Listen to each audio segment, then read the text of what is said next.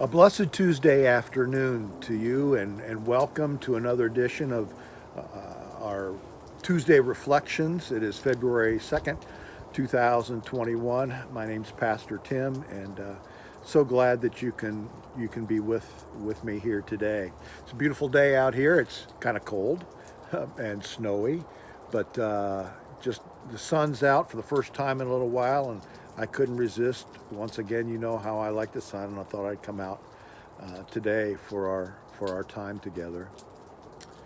But I was thinking about a particular uh, word that has come to mind the last few days, and kind of strange maybe that it would come to my mind, and you'll know what I mean when I share with you what that word is. The word is contentment. Contentment. Let me ask you today, what comes to your mind when you think of contentment? 2020? Most likely not. Uh, but I was thinking, you know, what what might bring us contentment? Well, I imagine sitting on a beach someplace, again with the sun shining and it might be 80 degrees or mid 80s and a cool breeze coming off the ocean and and sitting in a comfortable chair. Uh, maybe if you enjoy it, your your feet are in the in the tide of the ocean as the waves wash up, and uh, smell of ocean salt in the air. You've got an umbrella drink in your hand, and and it might be even one of those all-inclusive places where people are there to serve you all the time and ask you if there's anything else that you need. But that might be a place that brings contentment or a situation that brings contentment. Or maybe you're not a beach person. Maybe you're a mountain in the woods kind of person and and you're you imagine an off-grid cabin someplace. And there's a fire in the fireplace or maybe you're outside at the fire pit and you're just relaxing listening to the sounds of the woods and looking at the beauty around you uh, maybe reading a good book along the way, but you're able to stop and take a deep breath. That might be contentment. Or maybe it's been a long day. It's been a long day, and uh, things haven't always gone the way you wanted them to during the day, which is the way most days work. But it's been a long day, and, and you, you finally get the kids into bed, and they're actually sleeping. They actually fall asleep right away, and and so you're wondering, wow, there's some quiet time here. Should I read a book? Should I watch a little TV? Maybe just take advantage of this and just go to bed. Or maybe you've just paid off your mortgage. Or maybe you've just paid off your car. Or maybe paid off a credit card. And you're able to take a deep breath because there's just this freeing feeling about that. It feels good. A sense of contentment. Maybe one of those fit your idea of contentment. Maybe they all do in some way, shape, or form. But contentment's a pretty important piece to our life in a very real way. We are content, you see, I think if we were to list examples or, or pieces to our contentment, what makes us content. We might say, you know, we are content when the pressure is off a bit. Uh, maybe when a project is done. When we know that everything is going to be okay. When we have no complaints about everything, anything. When everything fits, you know, feng shui.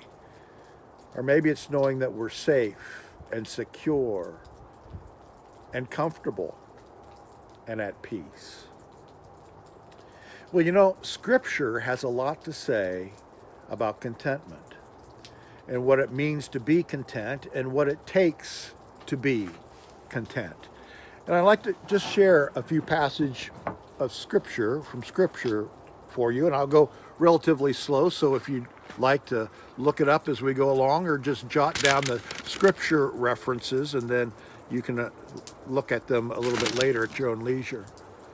But Proverbs chapter 15, verse 16 says this Better is a little with the fear of the Lord than great treasure with trouble. Isn't that the truth?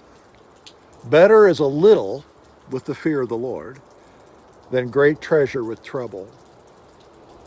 Luke chapter 3, verse 14. Likewise, the soldiers asked him, saying, And what shall we do? They're asking Jesus. So he said to them, Do not intimidate anyone or accuse falsely, and be content with your wages. Jesus was talking to Roman soldiers who, who uh, had answered, were asking the question, What should we do, you know, to follow you? What are the things that we need to be about, Lord? 1 Corinthians chapter 7 verse 24. Brothers and sisters, let each one remain with God in that state in which he was called, being with the Lord and in the Lord.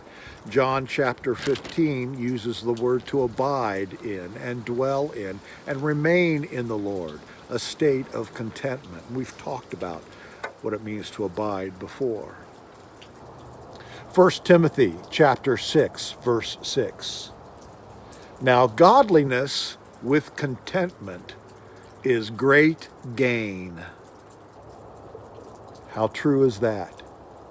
1 Timothy chapter 6 verse 6. Now godliness with contentment is great gain. Hebrews chapter 13 verse 5. Let your conduct be without covetousness. Be content with such things as you have. For he himself has said, I will never leave you nor forsake you. The message there being Jesus told the disciples and tells all of us, he's never going to leave us or forsake us. So in whatever we have, we are we need to be content with what we have. Because in having him and in him having us, there is no greater gift that we can possibly have. And of course, in Philippians, Paul's letter to the Philippians, the fourth chapter, the 11th verse, Paul says, Not that I speak in regard to need, for I have learned in whatever circumstance, in whatever state I am in, to be content.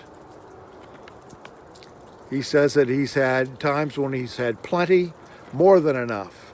He's had times when he's had nothing, nothing at all. And in every situation, he is content because he is in Christ Jesus, and Christ Jesus is in him. How about another few verses as well that describe this? Proverbs again, chapter 17, verse 1. Better is a dry morsel with quietness than a house full of feasting with strife. Ecclesiastes chapter 4, verse 6. Better a handful with quietness than both hands full together with toil and grasping for the wind. 1 Thessalonians chapter 4, verse 11. That you also aspire to lead a quiet life, to mind your own business, and to work with your own hands, as we commanded you. The gift of a quiet life. 1 Timothy chapter 2, verse 2, and this is a good one.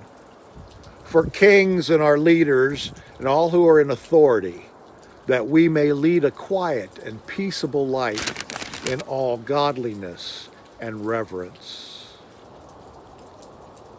And finally, 1 Peter chapter 3 verse 4, rather let it be the hidden person of the heart with the in incorruptible beauty of a gentle and quiet spirit, which is very precious, very precious in the sight of God.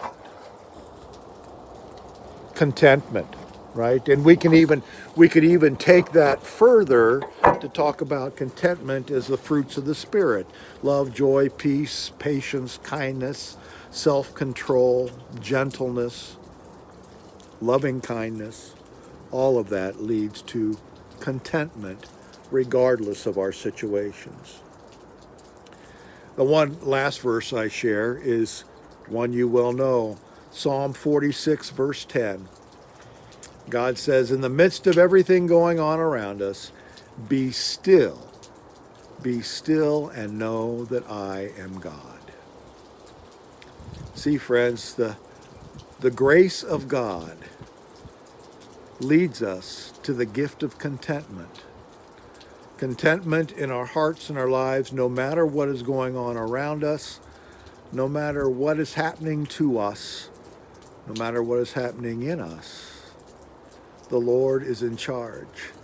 He has you in his loving arms now and always. And for that, we give him the thanks and praise of everything that we have. Thanks for tuning in. May God bless you richly this day and every day. May God use you to be a blessing as well. See you next time.